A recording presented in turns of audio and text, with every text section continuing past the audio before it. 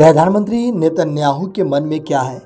यह अभी पूरी दुनिया समझ नहीं पा रही दरअसल, हमास की पूरी लीडरशिप खत्म करने के बाद इसराइल अब हिजबुल्ला का खात्मा करने जा रहा है।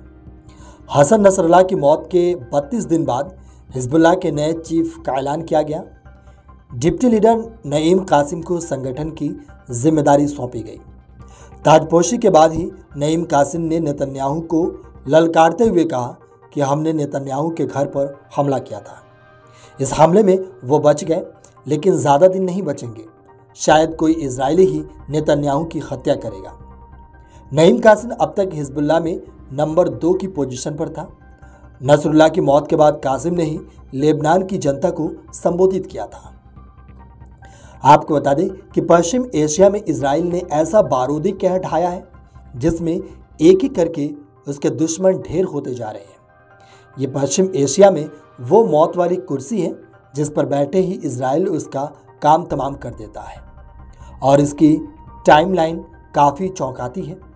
पश्चिम एशिया में मौत वाली कुर्सी अब तक कई लोगों को खा गई है। यहाँ मौत की कुर्सी का मतलब आपको बता दें कि इसराइल के दुश्मन संगठनों के शीर्ष पद वाली कुर्सी है।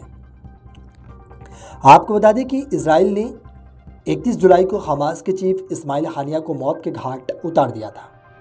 इस्माइल ने ही 7 अक्टूबर 2023 को इसराइल में हमला किया था, जिसमें 1200 से ज़्यादा बेगुनाह मारे गए थे। इसके बाद याहिया सिनवार को नया चीफ बनाया गया था।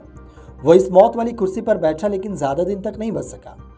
16 अक्टूबर को इसराइल ने राफा में सिनवार को ढेर कर दिया। वही मौत वाली कुर्सी हिजबुल्लाह का भी काल बन रही है। सबसे पहले 27 सितंबर को इसराइल ने लेबनान के बेरूत में एयर स्ट्राइक करके हिजबुल्ला चीफ हसन नसरुल्लाह को ढेर कर दिया। नसरुल्लाह की मौत पर पूरे ईरान में मातम रहा। नसरुल्ला की मौत के बाद उसके करीबी हाशिम साफिद्दीन को नसरुल्ला का उत्तराधिकारी माना जा रहा था। लेकिन कुछ दिनों के अंदर ही इसराइल ने हाशिम साफिद्दीन को भी मार दिया। आपको बता दें कि हसन नसरुल्ला की मौत के बाद नईम कासिम ने 5 अक्टूबर को बेरूत छोड़ दिया था। उसे ईरान के विदेश मंत्री के विमान से ले जाया गया था। मीडिया रिपोर्ट्स के मुताबिक ईरान के नेताओं ने इसराइल के हमले के डर से कासिम को ईरान बुलाया था। इस बीच इसराइल ने सीधे ईरान को भी धमकी दे डाली है। इसराइल के सैन्य प्रमुख जनरल हर्जी हलेवी ने कहा, अगर ईरान ने इसराइल पर एक और मिसाइल हमला करने की गलती की तो ईरान को इसकी बड़ी कीमत चुकानी पड़ेगी। हमें अच्छी तरह से पता है कि ईरान तक कैसे पहुँचना है। इस बार हम ऐसा हमला करेंगे जैसा अब तक नहीं किया है। इसराइल ने चार दिन पहले ईरान पर सबसे बड़ा एयर अटैक किया था। सैटेलाइट तस्वीरों से दावा किया जा रहा है कि इसराइल ने ईरान के न्यूक्लियर ठिकानों पर हमला किया था।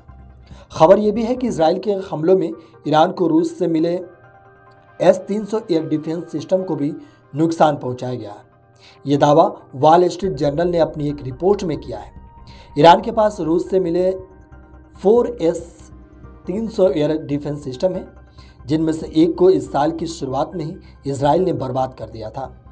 नए दावे के मुताबिक ईरान का एक और डिफेंस सिस्टम बर्बाद हो गया है। ऐसे में इसराइल ईरान की कमज़ोर एयर डिफेंस का फ़ायदा उठाते हुए जल्द ही एक और बड़ा अटैक कर सकता है। Video desk Amar Ujala dot com.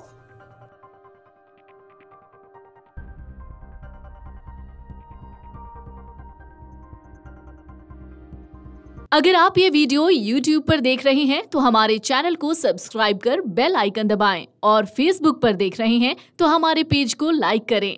आठ मिलियन प्लस सब्सक्राइबर। आपके इस भरोसे के लिए बहुत धन्यवाद।